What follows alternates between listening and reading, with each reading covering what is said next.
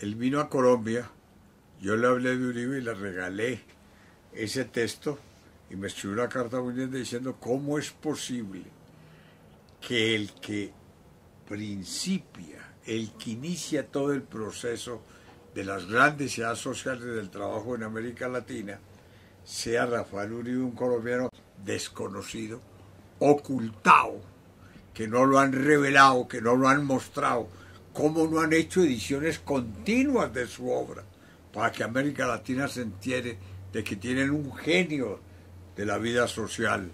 Del cooperativismo, Rafael Uribe dijo, lo que se necesita es el desarrollo del espíritu de asociación. Como campesino, este personaje nunca dejó de sentir la atracción raizal de su tierra y el llamado de afirmación a sus orígenes. Amó el campo colombiano y en él forjó la esperanza de progreso de la nación.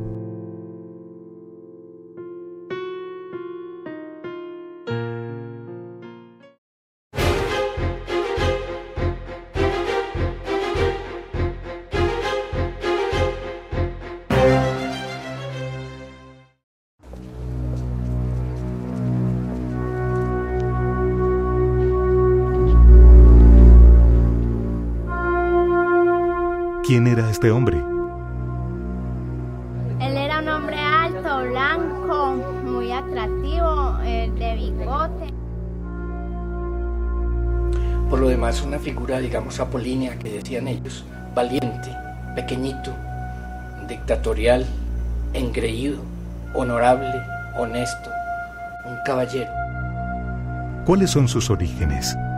Él nació aquí en Valparaíso y se formó aquí en la Universidad de Antioquia, luego viajó a Bogotá, a la Universidad Mayor, al Colegio Mayor del Rosario, donde se terminó siendo abogado.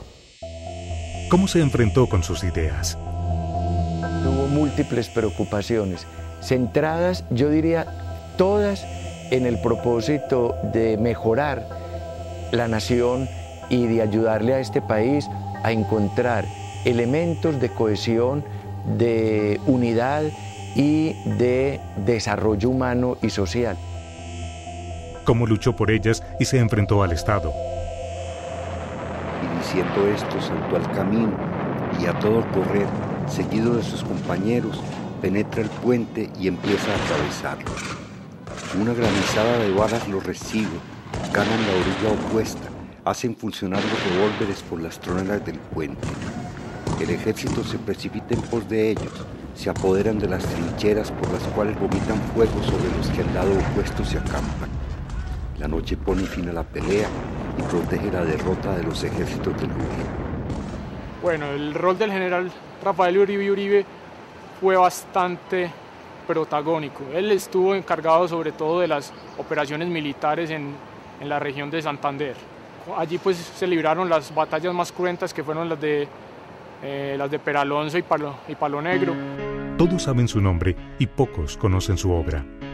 Pero hay uno que es esencial porque forma parte del ideario popular y de la manera como la figura de Rafael Uribe Uribe llegó hasta nuestra época.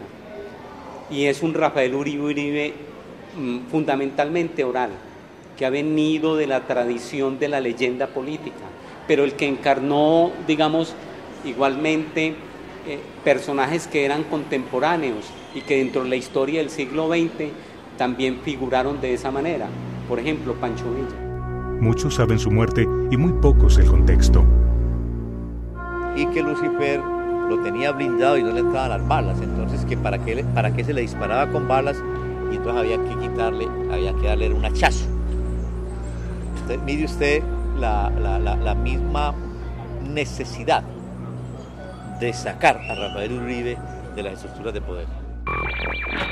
Fue asesinado el día de ayer el general Rafael Uribe Uribe, quien sucumbió a los golpes secos y asesinos de las hachas laboriosas de Leovigildo Galarza y Jesús Carvajal, dos humildes artesanos asusados por sectores políticos reaccionarios. El máximo ideólogo liberal del siglo XX colombiano fue protagonista crucial de la Guerra de los Mil Días y luego de las acciones para pacificar el país se opuso a la entrega del Departamento de Panamá, donde años más tarde se construye el canal.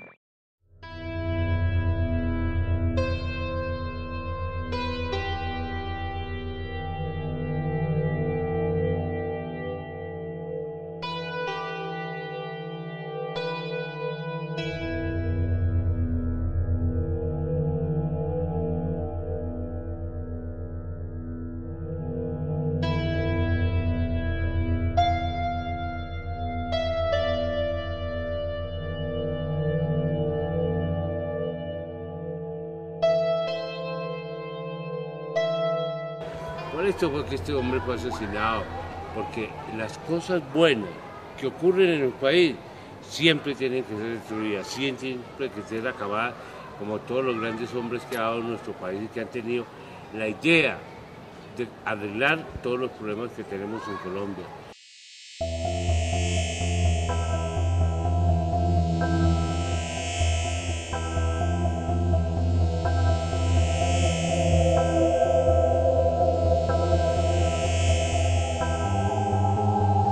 ¿Quién fue? ¿Cómo su pensamiento nos convoca ahora más que nunca? Para mí el general Rafael Uribe Uribe fue un hombre muy trabajador, político, luchaba por lo que quería, no se rendía ante nada ni nadie. Sin embargo, nos lo han ocultado tanto, nos lo han distorsionado tanto que hay otras imágenes de Uribe eh, eh, luchando casi desnudo en las batallas